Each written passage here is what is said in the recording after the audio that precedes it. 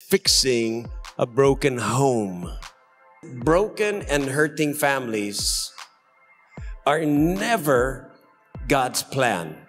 Families come, sometimes fall apart, sometimes break up the marriage because honestly, there's two people making decisions. Pero tandaan mo, hindi ibig sabihin yan ang God's best.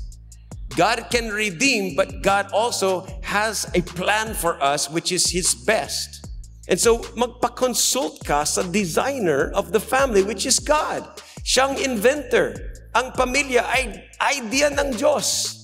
The original information is in God's Word.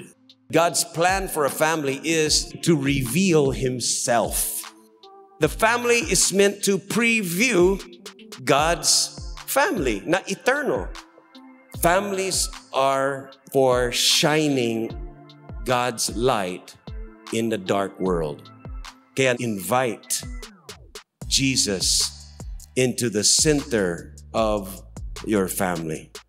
If you bring Jesus into your home, even the rich, the educated, the power, they would say, kakaiba ito.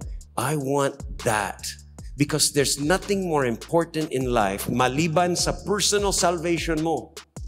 Ang kasunod is your relationship in your family. Your family and God's family. There's nothing more valuable than that. Friends, I'm serious. The devil wants to destroy the most valuable thing in your life. But God wants to restore. Trust the hand of the Lord and submit your family under God's authority.